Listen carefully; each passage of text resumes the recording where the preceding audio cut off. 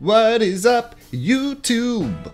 It's another episode of the Cartoon Cyborg Streamlapse from Jae55555.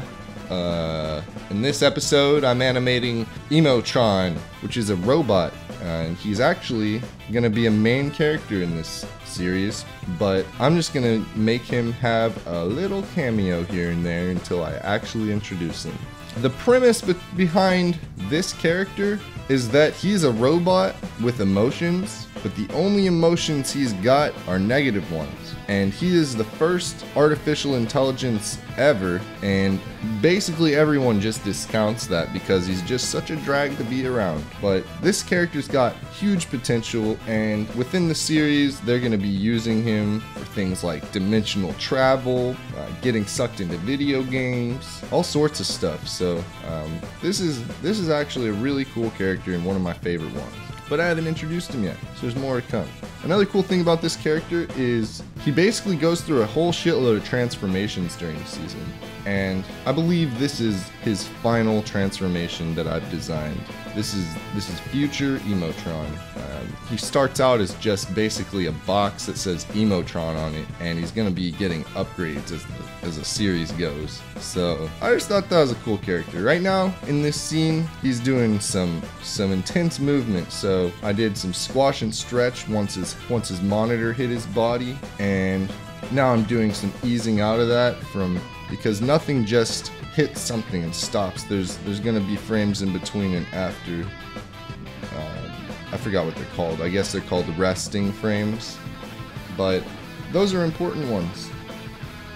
So my idea was I would have him wheel out into the scene while everyone else is on their anticipation frames. And as soon as everyone else starts reacting, Emotron's gonna give Gord a score of 7 out of 10 and start applauding a lot. And I wanted the I wanted the clapping to be straight ahead. I wanted it all to seem all just organic and natural. But then I wanted to end it out in a loop. So the way I did that was I did a couple frames where he's just clapping and acted like acted like it was just never gonna end.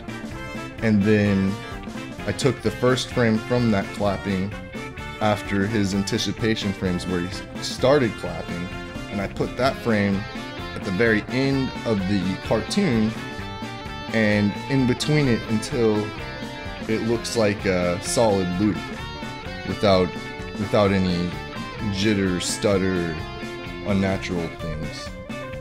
Um, I thought it was funny that he gave him only a 7 out of 10 because that's that's just about as positive as Emotron can get. And upside down it's spoiled. Um, another thing, let's go to some some questions.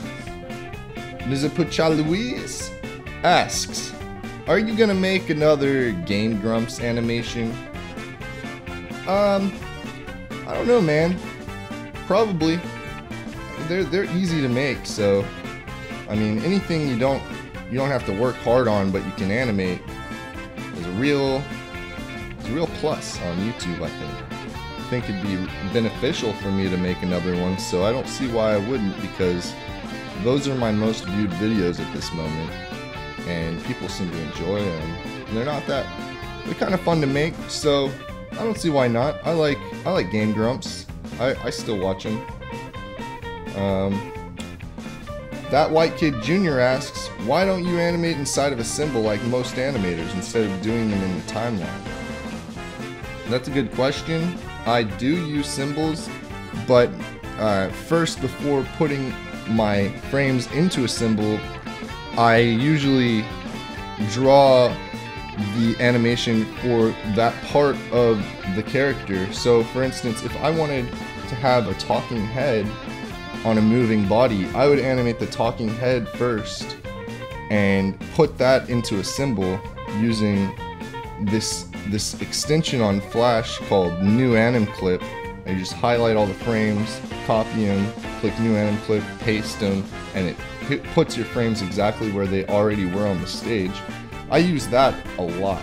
Um, I think lately I've been doing a lot more straight ahead and pose to pose without any symbols, but I think the perfect way to animate on Flash is a good little mixture between pose to pose, straight ahead, and encasing all those little things into symbols. So, I, I do animate inside symbols, but I start outside the symbols because I have an extension called New Anim Clip, and it makes it a little bit easier, at least for me. Um, those are the only two questions, so go ahead and leave a like, comment, and subscribe. Follow me on Twitter at Jarrett Riley, that's J A R R E T T R I L E Y, and send me some music at jaeeeee at gmail.com if you're a musician because I would love to showcase you in the background of my next Streamlapse video. Thanks for watching and Dick Butt.